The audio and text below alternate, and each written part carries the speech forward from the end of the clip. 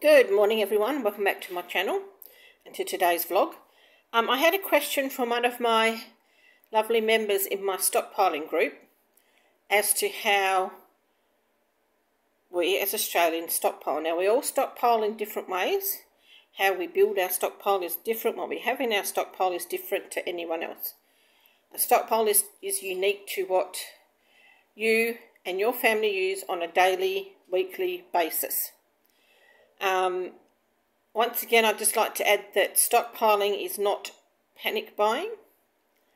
Prepping is not panic buying. A stockpile, a prepper pantry takes months, even years to build up. Um, now, the way I do it and why I do it is I first started stockpiling when my now retired husband was working in the construction industry.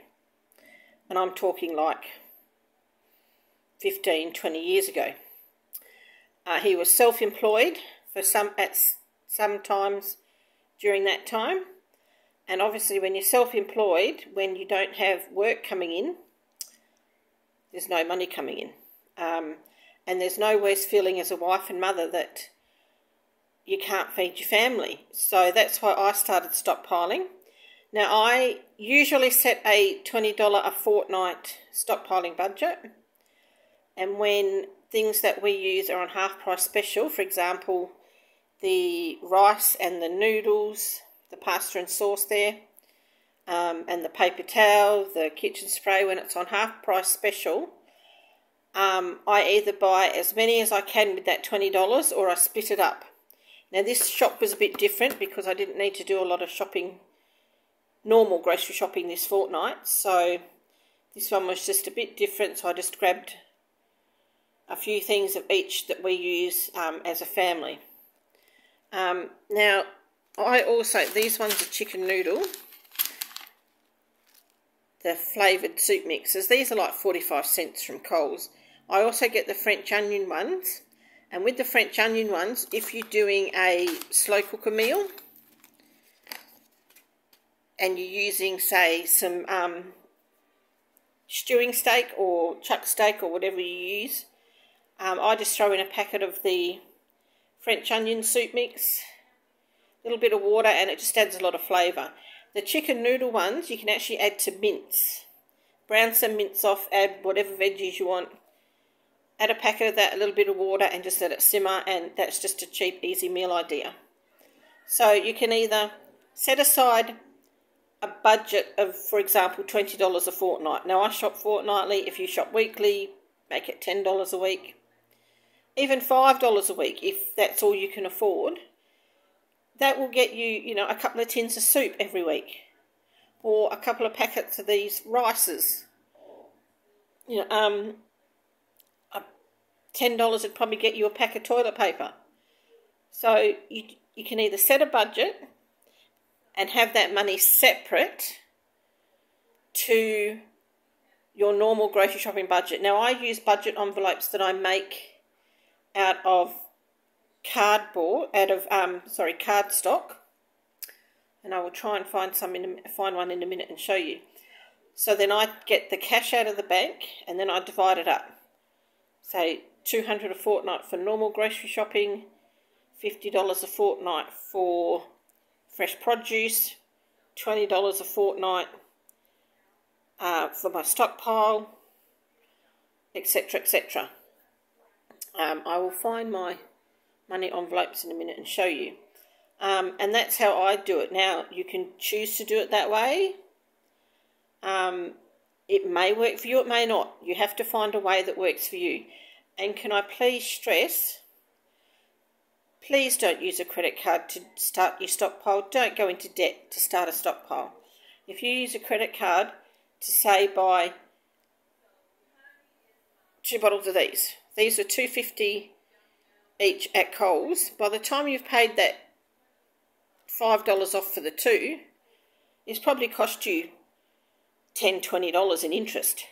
So please don't go into debt. Please don't use your credit card to start a stockpile. That's just not a wise idea. It's going to end up costing you a lot more than what you paid for the product in the long run.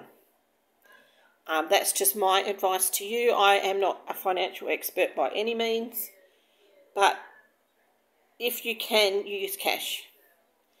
Um, you know, if you've got $10, you can get a tray of these pot noodles from Coles. They're like 75 cents each. They are great. Now, I don't necessarily use these as pot noodles.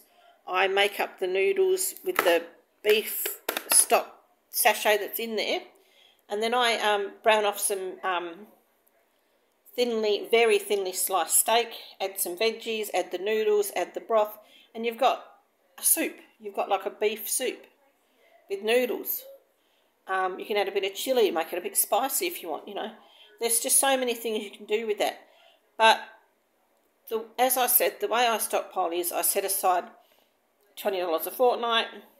If the shampoo and conditioner we use as a family is on special that fortnight, I will get three shampoo, three conditioner, or whatever it is for that $20.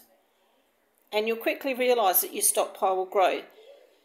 Another way you can do it is say, right, one month you're going to concentrate on pantry items. The next month you're going to do toiletries. The next month you're going to do cleaning items. The next month you're going to do, say, non food items like batteries, candles, um, stuff like that, you know, torches, matches, whatever. One month you can do um, medical, band aids, you know, antiseptic cream, Dettol, stuff like that. So that's another way you can do it. And then you concentrate that month on doing, you know, first month you say, right, I'm going to do pantry and I'm going to get this, this, and this. And another good idea too is to write out a list of what your family uses every single week or every single day.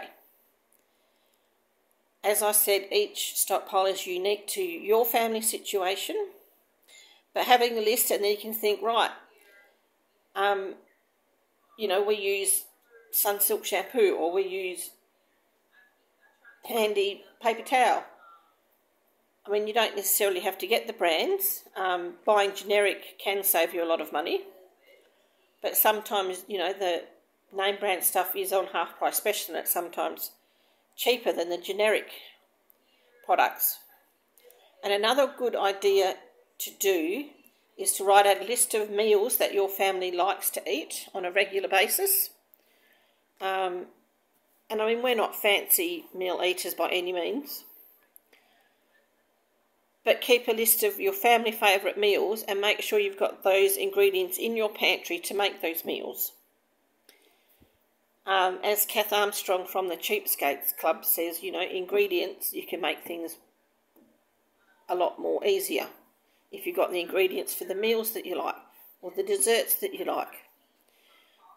You know, cake mixes, you can pick up a cake mix from, you know, for 75 cents, but then you've got to make sure you've got the eggs, the milk, the butter, or whatever it is you need to make that cake mix. So that's another idea, is just to make a list of everything that your family eats over a week. You know, breakfast, lunches, dinners, snacks, desserts, etc. And you, you know, have the ingredients on hand to make those meals. You can have these packet pastas on sauces. You know, if you've got your kids play sport and you're coming in at six o'clock at night, they're starving you cook up some sausages, make up a packet or two of the pasta and sauce. You've got a meal in probably 20 minutes. Um, so, you know, hopefully these tips will help you work out the best way to stockpile for your family. Um, I am trying to be a bit more prepared and having, you know, a fully stocked pantry. But yes, if you can, set aside a budget whatever you can afford five, ten, twenty dollars a week, a fortnight, a month, or whatever, and go from there. But yeah, lists make lots and lots of lists of everything you eat, that you use, you know, your toiletries, um, your medical. Make a list of any prescription medications that you know your family needs on a permanent basis, or you know whatever the case may be. So hopefully that explains it all a bit more. If anyone's got any comments or other tips and ideas that can, you know, a different way that you might stockpile, please list them in the comments below. Don't forget to like, subscribe, give me a thumbs up because it all helps my YouTube algorithm. Um, I will do another video a bit later on the money envelopes I use. I'll show you those. I actually make them myself and sell them. Um, it's $15 for four money envelopes made out of quality cardstock. And that includes postage anywhere in Australia. So let me know if you're interested in that. But thanks for watching. I hope this um, answers your question. Um, and don't forget to like, subscribe, comment, hit the notification bell, and I'll catch you all in the next one. Thanks, guys. Bye.